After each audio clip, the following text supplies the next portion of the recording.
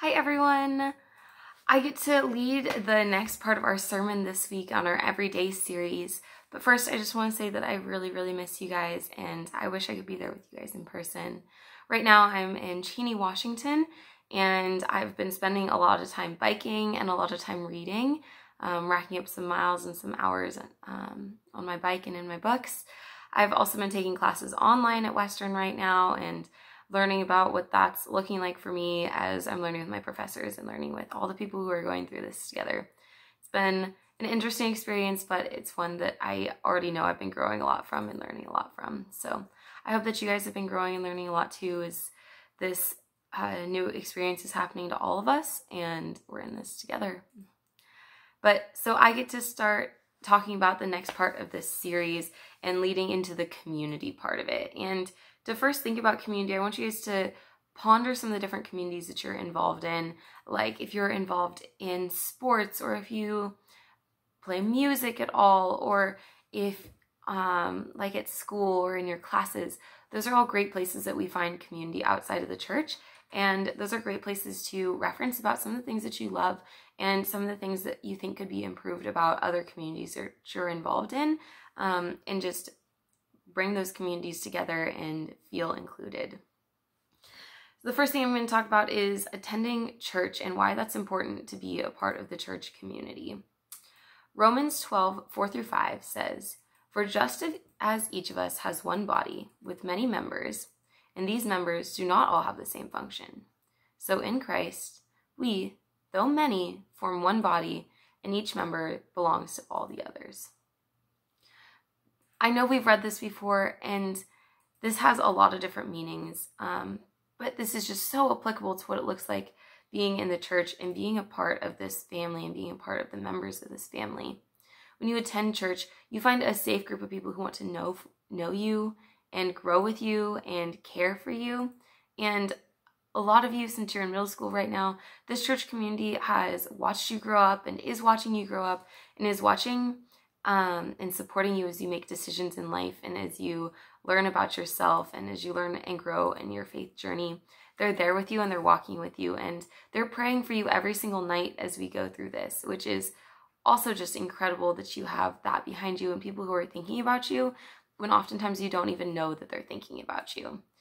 Um, but also, it goes the other way too, because it's not that um, you're the body is caring for you, but you're also part of the body as well. You're part of the body of Christ and you are valuable to the community. And your thoughts and experiences and attendance help the church make decisions about what they want to do.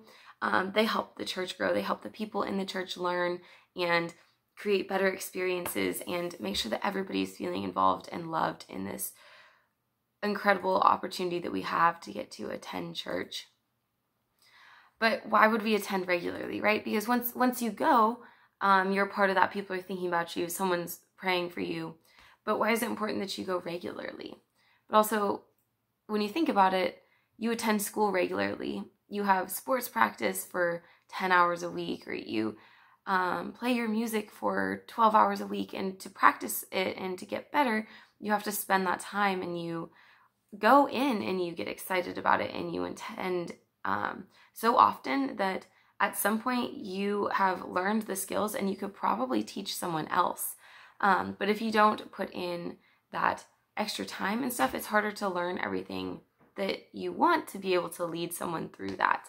Um, which is that big, that big important step in um, our faith is going from learning about it ourselves into being able to teach others and bring others into it, which is an absolutely incredible experience. Um, so you want to you want to be attending church and you want to be learning and practicing those skills often and learning about new skills. Um, when we talk about growing in skill sets and growing in what we know, you see this right now. Hannah and Dan aren't always the ones giving the sermon, and that's because while they have incredible experiences and an incredible faith, um, it's still always important to hear from other people and hear about other people's faith experiences and their journeys. And we get to share that with everyone and we get to share that with who we are and we get to share that with the members of this body. So it's important that you have a lot of different people here and a lot of different people who you're growing from. Um, but if you don't engage in that all the way, then it's hard to have that variety of knowledge and that variety of growth and that variety of ways that you can talk about your faith and ways that you can express your faith. And then going down to, we have talked about what it looks like and like why it's important to attend, church, but also something that's important about attending church is you want to retain that knowledge that you're learning and growing from and all the things that you are experiencing there and all the incredible things people are saying and helping you grow in.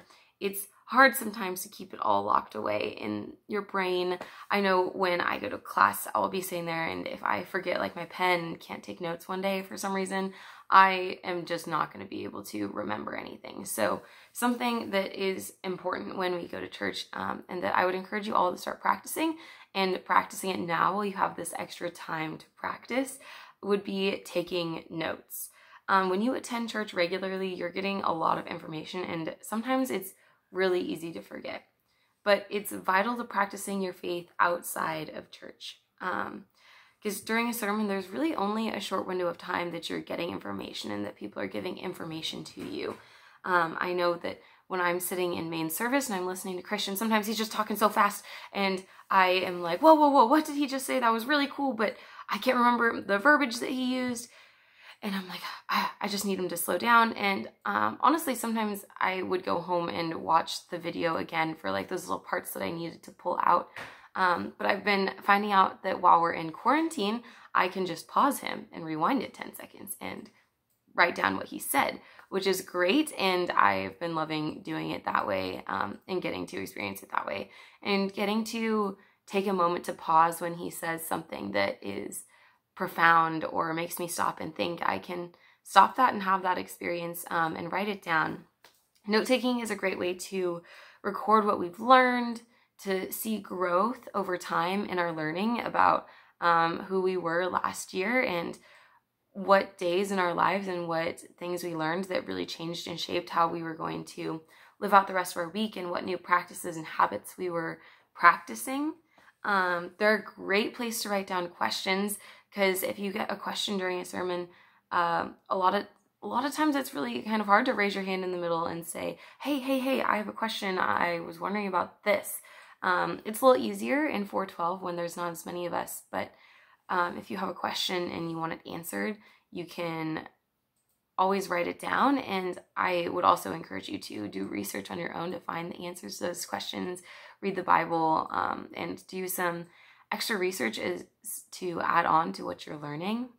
Um, but they're also a great way to find additional resources too when you're taking notes. So if you have that question, you're like, hey, I want to know about this.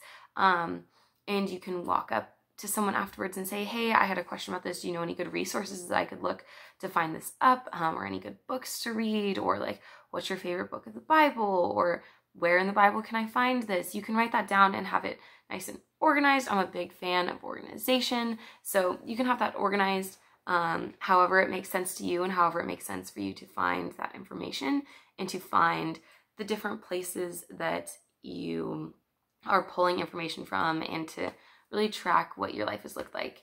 Um, it's kind of similar to journaling. Actually, I found is that um, my notes in from sermons and my journal actually kind of track parallel to each other. Um, you don't really notice that when you're writing it that your your experiences in church are um, leading into what your experiences in life look like. But looking back over my two notebooks side by side, they actually line up really well um, with the things that I am hearing and the things that I am practicing. Um, and they could they could be compiled, and you wouldn't know that they were two separate places. So I would encourage you to start taking notes and I would encourage you to start practicing that every day when you're doing that, um, watching the sermons here and when you're listening to Hannah. Um, you can write down ways like song lyrics when you're doing worship that you're like, wow, that really resonated with me today.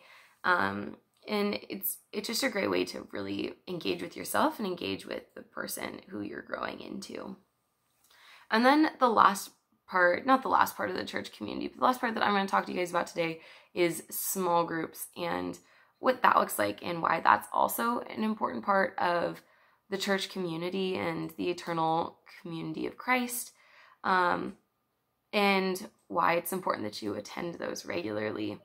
Um, and the first thing is that you're you are going to small group and you are engaging in meaningful relationships in a safe and accepting community. You're creating a place to grow for other people. You are answering those questions that people wrote down in their notes.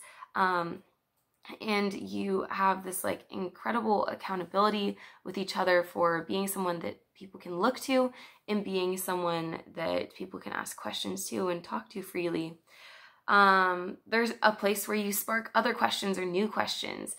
Um, they're a place where your answers to other people's questions show diversity and broaden people's thoughts and broaden people's perspectives. Um, people are showing up and investing in you and supporting you and caring about you. Um, you definitely should attend and attend regularly. Um, and you can t- take notes at small group too, write things down. I love writing things down. When I go out to coffee with people, um, it's not a small group, but I like writing things down that I remember about them. And so I can look back on it later and ask them about it and check in with them and make sure that they're doing well, make sure that they're still thriving and um, asking if there's anything I can follow up praying for. So it's it's a great place to continue to write down stuff and remember stuff and grow. Um, and it's also a really awesome opportunity for you to expand the community that you have as a small group. A lot of you were probably invited to a small group at some point, and that's what got you involved with Hillcrest. Um, or maybe that's how you've been involved with churches in the past. That somebody said, Hey, I would love for you to come to this. This is a great and safe place and a great community, and I think you would add something to it. And that's so important because everybody has something to add to the community. And then looking at what this all looks like right now, I've gotten to touch on this a little bit, um, but this all still applies. The church community is still thriving. The church community is still strong, even at home, even amidst all of this. Um, it's still strong, and people in churches are adapting to find ways to be creative and create that community while people are at home. All of our sermons are being recorded and posted online. Um, you can still take that time every Sunday to learn about God and take notes and to slow down and really use it um, and feel feel relaxed and have that Sabbath day where you can grow and spend it devoted to God. Um, you're still finding that, and you're still finding people who are watching this video with you, people who you can ask questions to um, and get answers to, and it's just it's such an incredible part um, incredible thing to be a part of when all this is going on to see that the church community is still strong and still growing. So the last thing I'm going to leave you guys with is Psalms 133 1. How good and pleasant it is when God's people live together in unity. And isn't that so true? How good and pleasant it is when God's people live together in unity um, I just want to leave you with that and leave you with uh, that feeling of goodness and that feeling of excitedness to be involved in this community and know that you are accepted and you are loved and that you are valuable to us and to everybody here and that there are people praying for you that you don't even know about. Um, I'm praying over all of you and I know there are so, so many more. And so I'll just close us in a prayer today. Dear Lord, Thank you so much for all of the people here watching this video and for all of the ways that we get to be involved and the fact that we can still be creating that community and still be inviting people and still be taking notes and growing and learning um, about you amidst all this where it seems like so many other pieces of our lives are shut down but your community is eternal and forever and um, the longest thing around here on earth.